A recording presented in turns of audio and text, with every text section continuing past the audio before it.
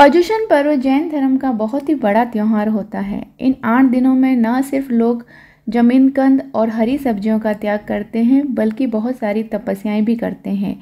धर्म ध्यान में इतना व्यस्त रखते हैं खुद को कि खाना बनाने की भी फुर्सत नहीं होती है। तो बहुत सारे लोग जो हैं वो इंक्वायरी करते हैं मुझसे कि ऐसी रेसिपीज़ बताइए जो कि बहुत ही कम समय में बन जाए, क्योंकि तपस्या करने वाले जो लोग होते हैं, यानी जो व्रत, उपवास या फिर अठाई वगैरह करते हैं तो वो लोग तो कुछ नहीं खाते, लेकिन परिवार के बाकी लोग, यानी बच्चे, बूढ़े, जिनको दवाई वगैरह भी लेनी होती है तो वो लोग जो खाना खाते हैं तो हम ऐसी फटाफट रेसिपीज़ बनाएँ, जो कि जल्दी से बन के भी तैयार हो जाएँ, ताकि हमारी तपस्या और उसमें जो है बाधा नहीं पड़े, और सामायिक वगैरह में, और जो है यहाँ पर ये फटाफट बने, लेकिन बिना प्याज लहसुन के और बिना हरी सब्ज़ी के बने। तो नमस्कार दोस्तों, मैं शिखा गुप्ता, केजीज किचन में आप सभी का स्वागत करती हूँ।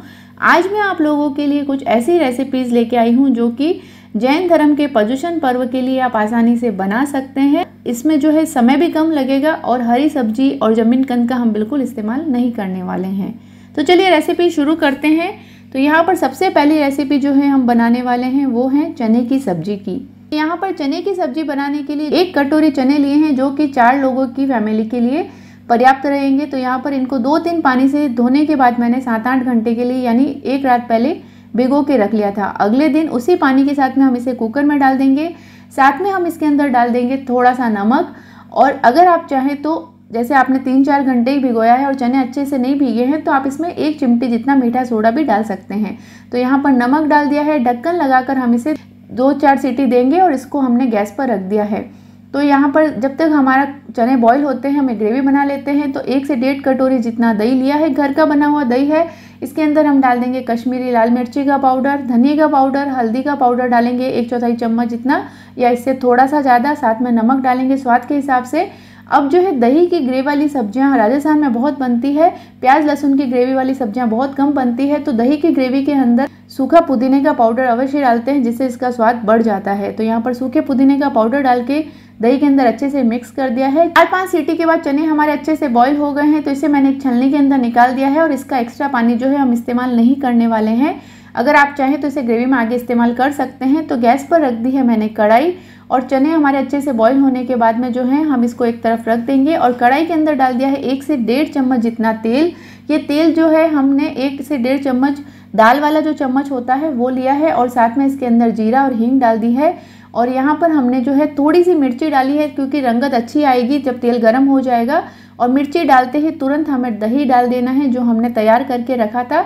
और एक बार इसको अच्छे से मिक्स कर देंगे दही को तेल के अंदर, गरम तेल के अंदर और उसके बाद जो है आँच को थोड़ा धीमी करके एक दो मिनट पकाएँगे। जब दही हमारा अच्छे से पक जाएगा तब हम इसके अंदर जो है चने डाल देंगे और एक कटोरी जितना छाछ ले लेंगे, यानी जो हम दही का पानी होता है, वो हम ले लेंगे और वो हम इसके अंदर डालेंगे। अगर आपके पास छाछ नहीं है तो आप चाहें तो पानी का इस्तेमाल कर सकते हैं और इसको ढक्कन लगाकर हम दो से पाँच मिनट तक पकाएँगे।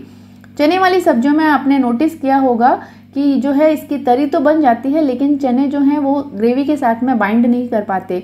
तो यहाँ पर बाइंड करने के लिए मैं एक सीक्रेट इंग्रेडिएंट बताने वाली हूँ। इससे पहले मैंने अमचूर का पाउडर डाला है थोड़ा सा और साथ में थोड़ा सा गरम मसाला डाला है। तो हमारी सब्ज़ी जब तक कुक होती है, हम एक बड़ा चम्मच यहाँ पर लेंगे आटा। आटे की जगह चाहे तो बेसन का इस्तेमाल कर सकते हैं और आटे के अंदर हम थोड़ा सा पानी डाल के इसका एक घोल बना देंगे। तो यहाँ पर एक चम्मच जितना ही आटा या फिर बेसन लेना है आपको और इस घोल को जो है आप सब्ज़ी के अंदर डाल देंगे। और अब आप देख सकते हैं कि सब्ज़ी हमारी गाढ़ी हो गई है और चने के साथ में इसकी अच्छी सी बाइंडिंग हो जाएगी, क्योंकि ये जो है ग्रेवी को अच्छे से पकने में मदद करेगी और गाढ़ा होने में मदद करेगी। तो यहाँ पर सब्ज़ी हमारी अच्छे से पक गई है। ये आटे को डालने के बाद दो से पाँच मिनट हमने इसको और पकाया है। और ये सब्ज़ी हमारी चने की फटाफट से बन के तैयार हो गई है। कैसी लगी आपको ये चने वाली सब्ज़ी की रेसिपी जो कि बिल्कुल नए तरीके से मैंने बनाई है? तो कमेंट बॉक्स में मुझे ज़रूर बताइएगा। अब जो है हम दूसरी रेसिपी बनाने वाले हैं, वो है कोरमे की पूड़ी, जिसे राजस्थान में कोरमे की पूड़ी बोलते हैं। कई जगह पर मूंग दाल की पूड़ी या फिर चूरी की पूड़ी भी कहते हैं। ये भी हम बिना लहसुन के बिना लहसुन, प्याज और हरी मिर्च और धनिया के बनाने वाले हैं। बिल्कुल हरी सब्ज़ी का इस्तेमाल हम नहीं करने वाले। तो मूंग दाल की पूड़ी बनाने के लिए यहाँ पर जो है मैंने एक कप मूंग दाल ली है। ये चार लोगों के लिए पर्याप्त रहेगी। तो यहाँ पर जो है मूंग दाल को चाहे तो आप मिक्सी में दरदरा पीस सकते हैं। बाकी कोरमा जो है वो घट्टी यानी जो हाथों से घट्टी चलाते हैं, पत्थर की जो होती है, उससे बनाते हैं हमारे राजस्थान के अंदर। तो ये उस तरीके की चूरी है। चाहे तो मिक्सी में आप इसको पल्स मोड में चलाकर भी इस तरीके से दरदरा सा पीस सकते हैं। अब जो है, हमने जो एक कटोरी लिया था, उसको हमने धो के दो तीन पानी से भिगो के रखा है आधे घंटे के लिए। धोने के लिए आपको क्या करना होगा? छलनी के अंदर डाल के धोना होगा, नहीं तो सारी मूंग दाल जो है, पानी के साथ में धोते वक्त बह जाएगी। तो छलनी में डाल के नल के नीचे रख दीजिएगा छलनी को और पानी सारा इसका जो, इसके ऊपर जो पेस्टिसाइड्स या फिर केमिकल होंगे, वो निकल जाएँगे। इसके बाद जो है, हमने इसको आधे घंटे भिगो के रखा था। आधे घंटे के बाद में जो हमने भीगी हुई दाल थोड़े से पानी के साथ मिली है, क्योंकि दाल जब भीगती है तो काफ़ी सारा मॉइस्चर एब्जॉर्व कर लेती है। तो दाल अच्छे से भीगनी चाहिए, आधे घंटे से ज़्यादा समय लगे तो आप आधे घंटे से ज़्यादा समय भी ले सकते हैं। यहाँ पर जो है, मैंने इसके अंदर डाला है काली मिर्ची का पाउडर साथ में मैं इसके अंदर थोड़ी सी हींग डालने वाली हूँ। इसके अंदर और धनिया का पाउडर डाला है। सूखा धनिया का पाउडर जो होता है, वो इस्तेमाल कर सकते हैं, लेकिन ताज़ा धनिया हम इस्तेमाल नहीं करने वाले हैं। साथ में मैंने इसके अंदर जो है गरम मसाला डाला है, क्योंकि तीखेपन के लिए हम हरी मिर्ची का इस्तेमाल नहीं कर रहे हैं। तो यहाँ पर काली मिर्च और जो गरम मसाला और कश्मीरी लाल मिर्ची से जो तीखा बनाएगा, वो ही इस पराठों को स्वादिष्ट बनाएगा।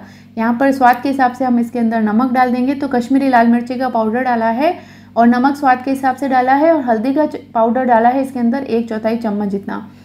तो सारी सामग्री हमने डाल दी है, इसके अंदर थोड़ा सा जीरा भी डाल देंगे। चाहे तो आप इसमें थोड़ा सा अजवाइन भी डाल सकते हैं, लेकिन मैंने इसके अंदर अजवाइन नहीं डाला है। कश्मीरी लाल मिर्ची का पाउडर मैंने थोड़ा सा और डाला है, साथ में इसके अंदर जो है मैंने तेल डाला है एक चम्मच भर के। तो सारी सामग्री को हमने डालने के बाद में जो है आटा इसके अंदर डालेंगे। तो आटा जितना लगता है वैसे डाल सकते हैं। यहाँ पर एक कटोरी दाल जो है चार लोगों के लिए पर्याप्त है तो मैंने एक कटोरी दाल का इस्तेमाल किया है। अगर आपकी फैमिली में मेंबर कम या ज़्यादा है तो उसके हिसाब से आप जो है इस्तेमाल कर सकते हैं तो आटा भी आपको उसके अकॉर्डिंग इस्तेमाल करना होगा। आटा डालने के बाद में आपको इसके अंदर पानी नहीं डालना है, और जो हमने दाल भिगो के इसके अंदर इस्तेमाल की है, उसी के मॉइस्चर से ये आटा अच्छे से गूंद के तैयार हो जाएगा। और आटा गूंदते वक्त जो है थोड़ा सा हम इसके अंदर तेल डाल देंगे, एक चम्मच जितना। तो आटा हमारा अच्छे से गूंद के तैयार हो गया है। अगर आपको आटा गूंदने में दिक्कत आती है तो आप पानी के छींटे दे सकते हैं, लेकिन इसके अंदर पानी का इस्तेमाल मत कीजिएगा।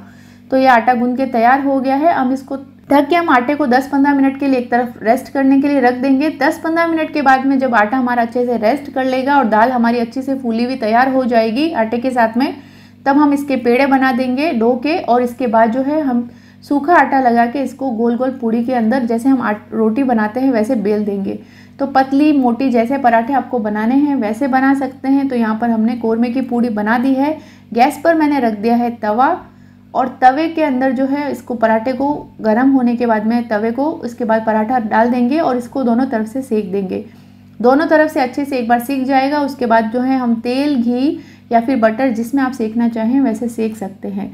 तो यहाँ पर मैंने जो है तेल का इस्तेमाल किया है और तेल के, तेल को एक तरफ़ लगाने के बाद जो है इसको इस तरीके से लकड़ी का जो आता है सेकने वाला, उससे हम सेकेंगे ताकि पराठे हमारे कुरकुरे से बन के तैयार हुए और इसके बाद जो है दोनों तरफ़ से ये पराठे क्रिस्पी और भूरे हो जाएँगे, तब तक हमें सेकना है।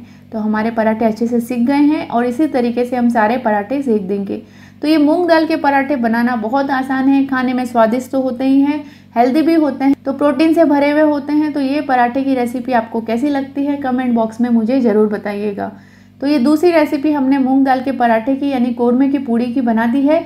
अब जो रेसिपी मैं आप लोगों के लिए लेके आई हूँ, बहुत ही कम समय में बन के तैयार हो जाएगी और इतनी स्वादिष्ट बन के तैयार होगी कि आप इसे नॉर्मल डे में भी, यानी प्रदूषण के अलावा भी कभी भी बनाने की जो है इच्छा करेंगे। तो यहाँ पर मैं बनाने वाली हूँ गट्टे की खिचड़ी, जिसे गट्टे का पुलाव भी कह सकते हैं आप। बिल्कुल खिली खिली खिचड़ी जो है, एक सीटी के अंदर बिना गट्टों को उबाले और बिना गट्टों को जो है आप तले बना सकते हैं आसानी से। तो यहाँ पर एक कप जितने चावल लिए हैं, मैं हमेशा बासमती राइस जो है, खिचड़ी और पुलाव बनाने में इस्तेमाल करती हूँ। तो यहाँ पर जो है एक कप जितने बासमती राइस लिए हैं और ये जो है चार लोगों के लिए, चार लोगों की फैमिली के लिए इनफ होते हैं। तो यहाँ पर इनको दो तीन पानी से धोने के बाद आधे घंटे मैंने भिगो के रख दिया था। तो यहाँ पर अच्छे से फूल गए हैं हमारे चावल।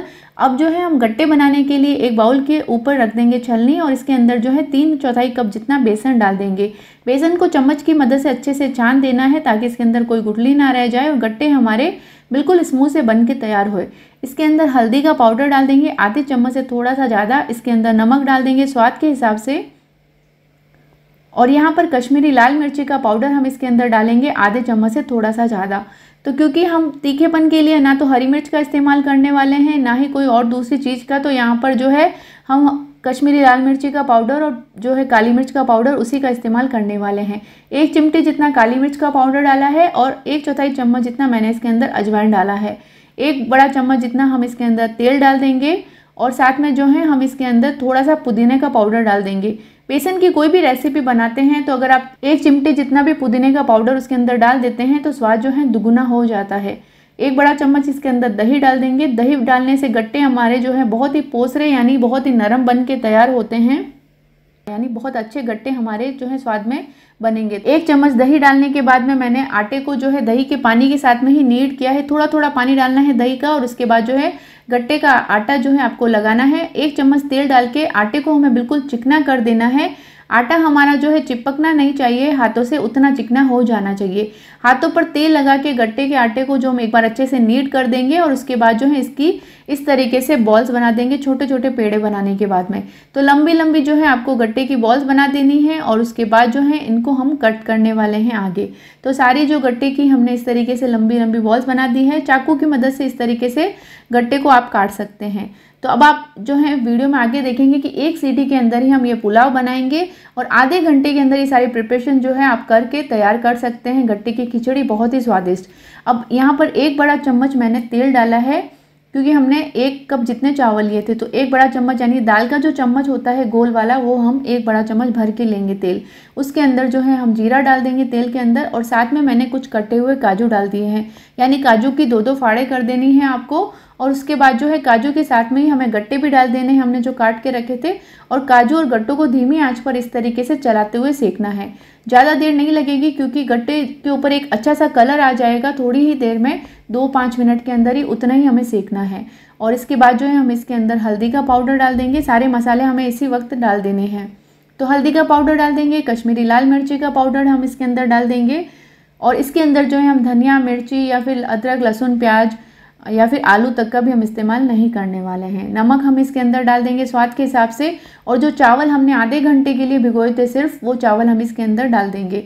मैंने आपको जो है पहले पनीर के पुलाव की रेसिपी भी दी थी, वो भी आप हमारी देख सकते हैं तो उसमें भी हमने जो है आधे घंटे के अंदर ही पनीर का पुलाव इस तरीके से बनाया था। अब जो है हम इसके अंदर एक चौथाई चम्मच जितना गरम मसाला डाल देंगे और हमने सूखा पुदीना इसके अंदर डाल दिया है, साथ में हम इसके अंदर थोड़ा सा कश्मीरी लाल मिर्ची का पाउडर और डाल देंगे।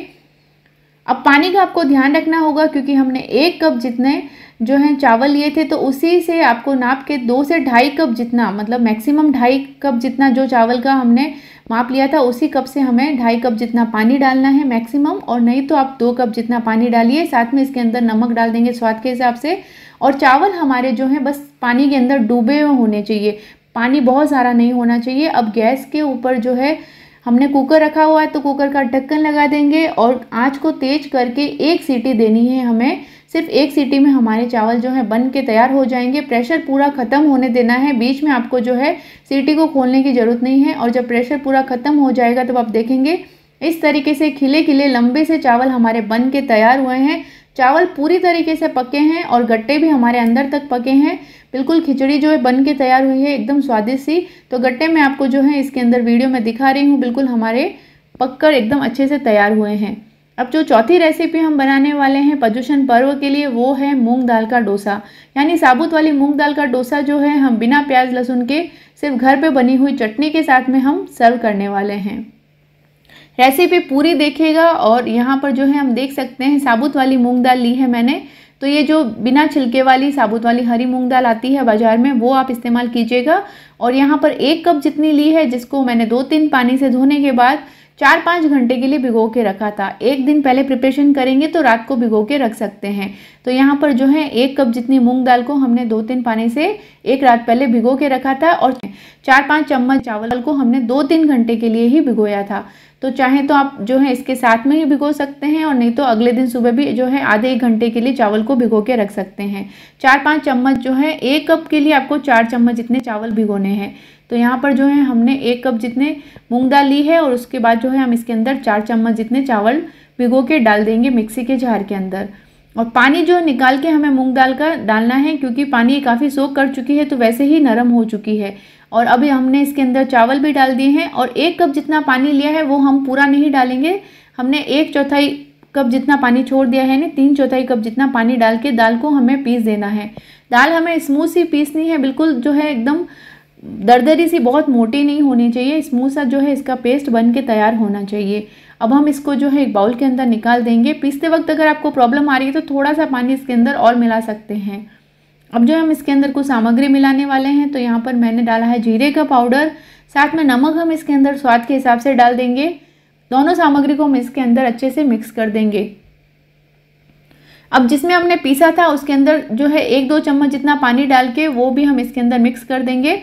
और गोल हमें जो है डोसे का गोल जैसा बन के तैयार होता है ना, वैसे ही बनाएँगे। ये घर पे बना हुआ दही है, इसके रेसिपी आपको जो है अगर चाहिए तो मुझे कमेंट बॉक्स में बताइएगा। दही का इस्तेमाल हम चटनी में करने वाले हैं। मैं घर पर ही दही बनाती हूँ और जो है मिर्ची से कैसे बनाती हूँ, अगर ये रेसिपी आपको जाननी है तो मुझे कमेंट बॉक्स में ज़रूर लिखिएगा। यहाँ पर जो है मैंने चार चम्मच जितना नारियल का पाउडर डाल दिया है मिक्सी की जार में, साथ में मैंने इसके अंदर डाली है चार चम्मच जितनी ही मूंगफली और साबुत काली मिर्ची डाल दी है मैंने। ये चटनी जो है नारियल के पाउडर और मूंगफली के साथ में बन के तैयार होगी। यहाँ पर हम इसके अंदर नमक डाल देंगे और साथ में साबुत जीरा डाल देंगे एक चम्मच जितना। और जो दही हमने बनाया था वो आप देख सकते हैं, बहुत ही गाढ़ा जो है बन के तैयार हुआ है। तो चार चम्मच जितना जितना हमने मूंगफली और नारियल का पाउडर लिया था, उतना ही दही लिया है। और थोड़ा सा पानी डाल देंगे इसके अंदर। और जो दही हमने कटोरी ली थी, उसी के अंदर थोड़ा पानी डाल के मैंने और मिलाया है। तो ये सारी सामग्री को मिक्स करके जो है हमें चटनी बनानी है। तो मिक्सी के झार के अंदर इसको स्मूथ सा इसका जो पेस्ट बना देंगे मिक्सी में चला के, और यहाँ पर देख सकते हैं, चटनी हमारी बन के तैयार हो गई है। चटनी पर एक फटाफट से हम एक तड़का देने वाले हैं। वैसे तो ये ऐसी बहुत स्वादिष्ट लगती है, लेकिन तड़के के लिए यहाँ पर एक चम्मच जितना मैंने घी का इस्तेमाल किया है। अब सामग्री मैंने फटाफट डाल दी थी तो शायद ये वीडियो रह गया तो यहाँ पर मैंने थोड़ा सा जो है राई डाली है, और साथ में जो है एक कश्मीरी लाल मिर्ची सूखी वाली का टुकड़ा करके डाला है। और उसको उस तड़के को गरम गरम जो है हम चटनी के ऊपर डाल देंगे। और यहाँ पर जो है गैस पर रख दिया है मैंने तवा। ये कास्ट आयरन का तवा है, चाहे तो नॉन स्टिक तवे का भी इस्तेमाल कर सकते हैं। अब तवे को गर्म होने के बाद में ये तवा अच्छे से गर्म हो जाए, पानी के छींटे दे दीजिए और उसको पहुँच दीजिए। और उसके बाद जो है घोल को दो चम्मच डाल के उसको इस तरीके से फैला देना है। जब ये नीचे से पूरी तरीके से सिकने लग जाएगा, तब हम थोड़ा सा घी डाल देंगे। तो घी से डोसा हमारा जो है वो काफ़ी क्रिस्पी बन के तैयार होगा। घी की जगह बटर का भी इस्तेमाल कर सकते हैं। यहाँ पर जो है मैंने इसके अंदर सीजनिंग के लिए डाली है सिर्फ़ चिली फ्लेक्स और इसके बाद जो है हम दूसरा डोसा भी इसी तरीके से बना देंगे। तो ये डोसा खाने में बहुत स्वादिष्ट होता है, बहुत ही फटाफट से बन के तैयार हो जाता है। पर्यूषण पर्व में ये रेसिपीज़ जो हैं बहुत आसानी से बन के भी तैयार हो जाती है हेल्दी भी होती है और बच्चों को भी इस तरीके से पसंद आने वाली है। तो नई नई तरीके से आप ये रेसिपीज़ बना सकते हैं, यानी चार रेसिपीज़ मैंने बताई है। कमेंट बॉक्स में मुझे बताइएगा कि चारों रेसिपीज़ आपको कैसी लगी। पर्यूषण पर्व के लिए मैं दूसरी और नई रेसिपीज़ लाने वाली हूँ तो मुझे कमेंट बॉक्स में बताइएगा कि और कौन सी रेसिपीज़ आपको चाहिए। मिलते हम किसी नई वीडियो के साथ में, तब तक अपना ख्याल रखिए टेक केयर बाय